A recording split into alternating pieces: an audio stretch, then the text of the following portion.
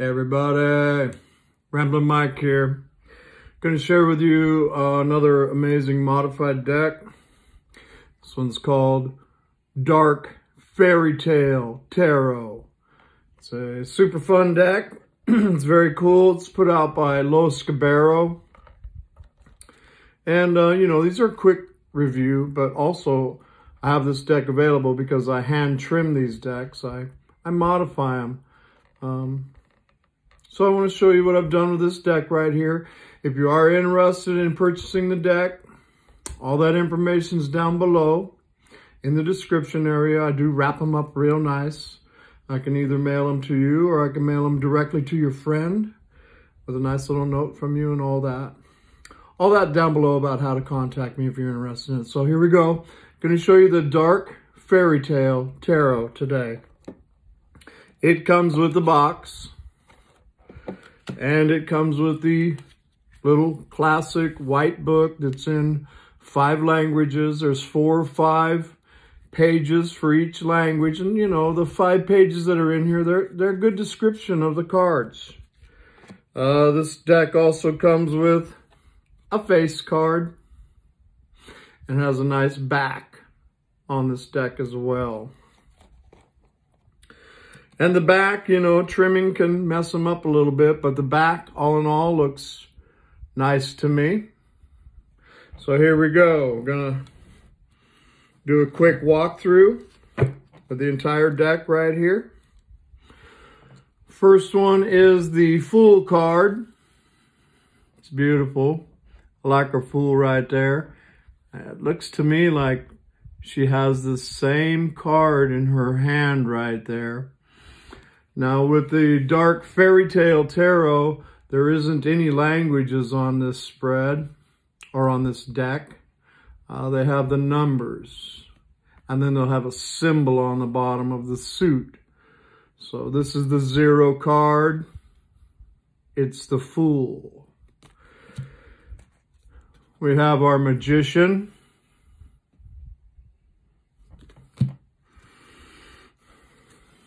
Our high priestess. And here's our empress. Gotta love her. I mean, this is a little bit of a dark deck. Here's our emperor. I like him. Number four. Number five is the Hierophant.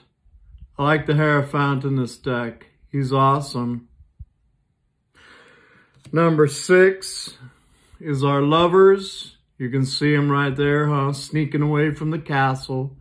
They get a little alone time together, huh? It's beautiful. I love the chariot. You can see the swiftness of the chariot. But uh, the person that's riding it is just be like, well, okay, Sarah, Sarah, you know, totally in charge of those two wild ponies just chilling. I like it. Now, with mini decks, 8 and 11 are switched around between strength and justice. Generally, justice anymore is put with number 11 and strength within 8, but an old way was justice as 8 and strength as 11, and that's how this deck is. This is justice as number 8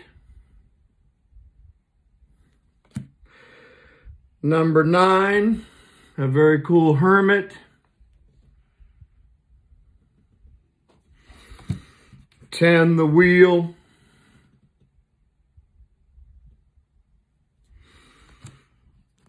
And 11, strength.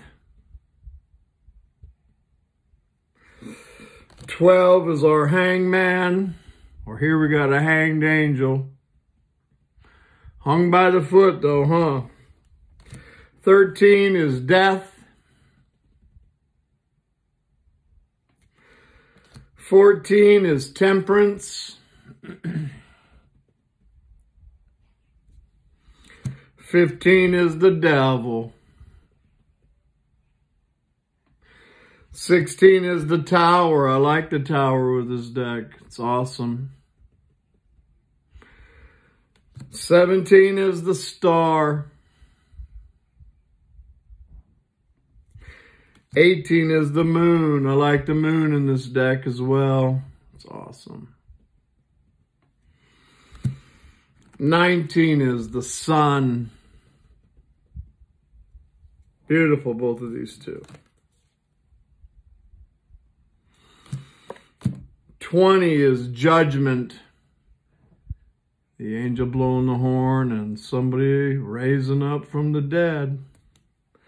And 21 is our world card. That's the that's the cover on the box right here. Just a close-up of her. The world card, 21. And then we get into our suits. And with this card, it will have the one on the top and then the little symbol for the suit on the bottom, which is definitely a wand down there. Ace of Wands. Here's our Two of Wands. The, the, the, you know, the little wall. There's the world, the two wands. It's a nice deck, very playable. Three of Wands, seeing your ships. Four of Wands, the harvest, the butterflies flying around. Five of Wands, the tussle. You see them right there. It's nice. Totally a nice playable deck, in my opinion. The victory of the Six of Wands.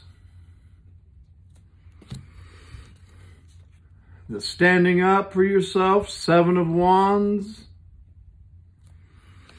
Eight of Wands is a little different because traditionally Eight of Wands doesn't have people in the card. But Eight Wands. Here's our Nine Wands. Nice representation of that old wounded warrior. And Ten of Wands. You know, all the little monster's hands coming up out of there trying to grab her, but she's letting all that burden go and heading to a whole new world up here. Ten of Wands. Uh, with this deck right here, our pages have a little Spartan's crown and the wand symbol. It's our page of wands. Our knight has a little horse and the wand. So our knight of wands, I like him how he's all just lit up, man. Our queen of wands with her very magic little black cat right there.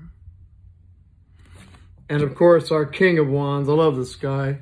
Looks amazing. Kind of looks like somebody. Hmm. king of wands. Off to the aces here. The ace of swords. Definitely kind of looks like some kind of lightsaber sword. It's got the crown the sword, the angel. It's nice. Our two of swords, very classical. Two of swords. Three of swords is very nice in my opinion. Our four of swords, the healing, spending time with the divine, nicely, nicely represented here. Our five of wands, or five of swords, excuse me. Five of swords, huh? That one's fun. The six of swords, classic. Our seven of swords, they're definitely old sneaky, running around in the night. It's nice. Here's our eight of swords, classic representation of it as well, yet have their own little dark fairy tale twist to it. The Nine of Swords, those little sleepless nights right there. And the Ten of Swords, which definitely looks a little brutal. Most of the Ten Swords are always in the back. They're always a little more brutal when they're in the front, huh? Ten of Swords. Our little Spartan head, Page of Swords. Our little horsey head, Knight of Swords, and he has that old lit up sword, by the way. That's the fun with these kind of tarot decks. They all talk just a little bit different. Why is his sword the one that's lit up? Interesting. Knight of Swords. Here's our Queen of Swords. Looks like she's just about had enough.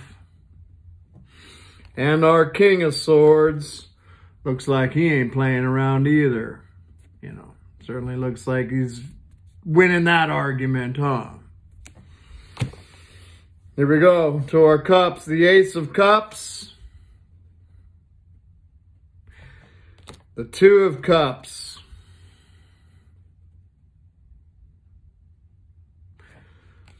And, you know, the cups has the little cup on the bottom. The three of cups.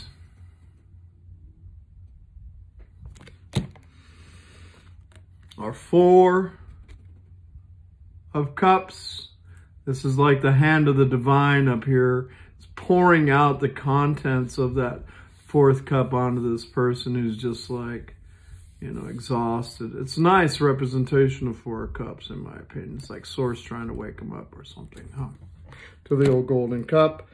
Here's our Five of Cups, the River of Tears.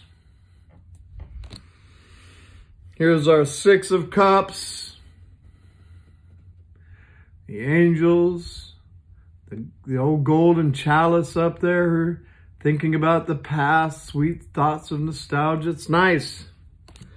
The Seven of Cups, a lot of options, eyes wide open, all that. The Eight of Cups, very classical, walking away. Eclipsed moon right there too. Eclipsed sun is really what that is. The Nine of Cups.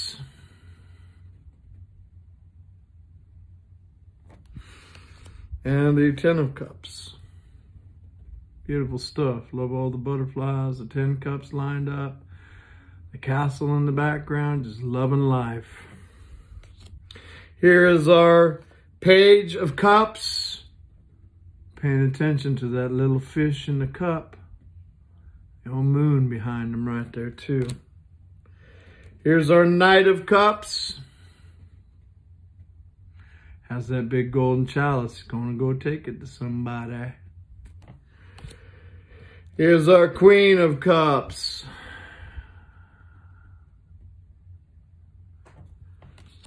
And here's our King of Cups.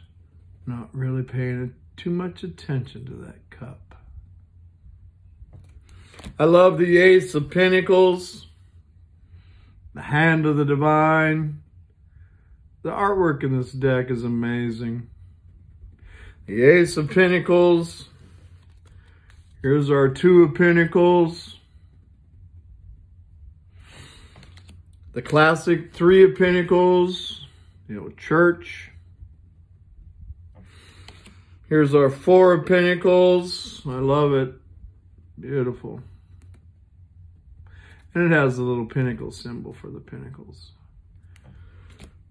Here's our Five of Pentacles, another classic, you know, interpretation. The old church window, the stained glass, or not paying attention to the stained glass or to the divine, feeling left out in the cold, all of that. Our Six of Pentacles.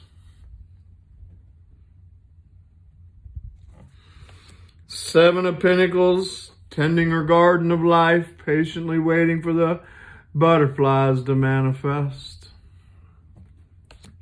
Eight of Pentacles, hard at work. Nine of Pentacles, there she is, just lavishing in life.